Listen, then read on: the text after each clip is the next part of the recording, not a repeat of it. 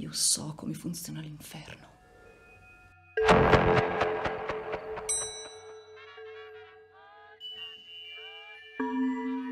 Nessuno sa che cosa succede qui dentro.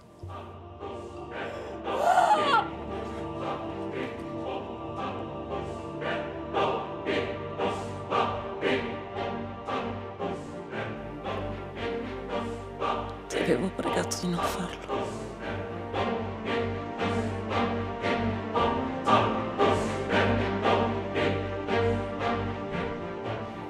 Perché tu non sei in grado di gestire le tue emozioni.